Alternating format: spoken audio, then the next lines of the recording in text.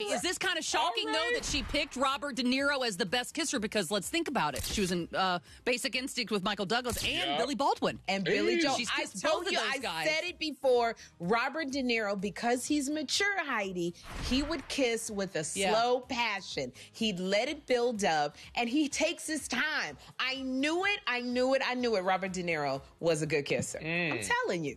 I'm kissing here, I'm kissing here. right? Sherri, it's the moment of truth. Who has been the worst and the best on screen kiss? Go. Okay, I've kissed Malcolm Jamal Warner, Dondré Whitfield, uh, Tony Goldwyn, and I know I'm missing somebody else. Wow. But the best kisser is Heidi. Heidi was Oh. amazing. You, you Okay. topped everybody. I knew it.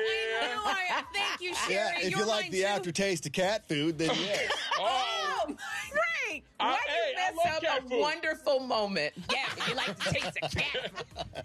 Hey, don't forget to hit us up on social media. We're on all these platforms at Dish Nation. We'll see you there.